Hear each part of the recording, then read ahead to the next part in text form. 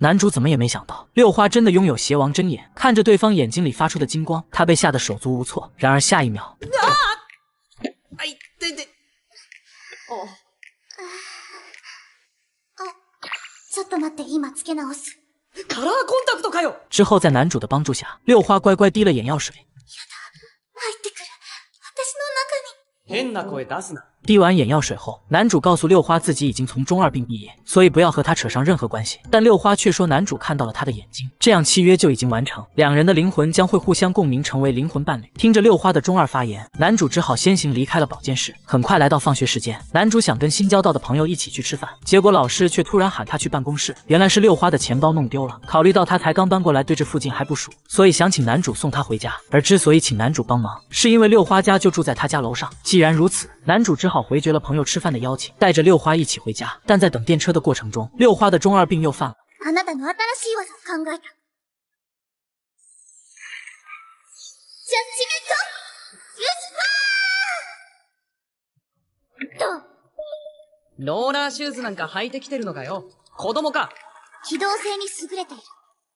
それにこれがあると敵の攻撃を受けた時に、ズキン、ズキン、ク 这社死的动作看得男主都起了鸡皮疙瘩。他打算买瓶水压压惊，可六花却说等一下。紧接着他便开始了点兵点将。此时电车已经到站，はい、ここで効果を投入えこのタイミングで ?B A って何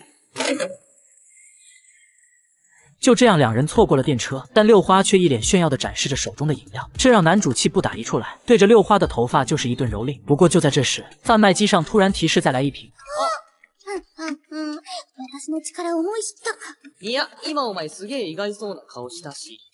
回到家后，男主发现自家门口堆满了快递箱，原来这些都是六花的，因为他家里没人，快递小哥就将东西放在了男主家。お兄ちゃん、この人は上野高梨さんの妹だ。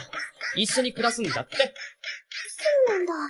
男主好奇一个人为什么会有这么多行李，六花就拿出里面的东西给他看，这让男主忍不住吐槽全都是废物。可六花却不服，拿出了他觉得最实用的东西。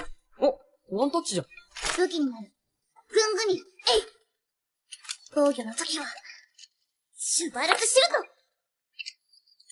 シュバルツシルト男主实在受不了，让六花赶紧把东西搬回去。然而看着他吃力的模样，他还是于心不忍。于是男主帮着六花一起搬箱子，两人一直忙到了晚上。看到六花的姐姐还没回来，男主还请六花在家吃饭。可在上菜的时候，三妹却拿出了她以前的武器。 有名はダメだろう、勝手に持ってきちゃ。痛いかっこいい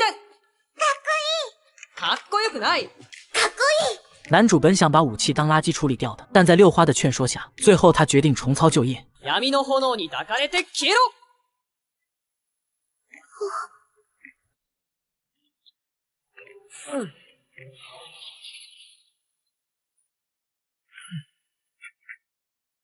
誤解すんなよ。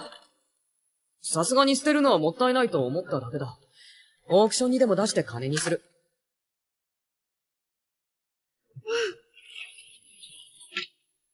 中に入ろうぜ。いつまでもこんなとこにいたら風邪ひくぞ。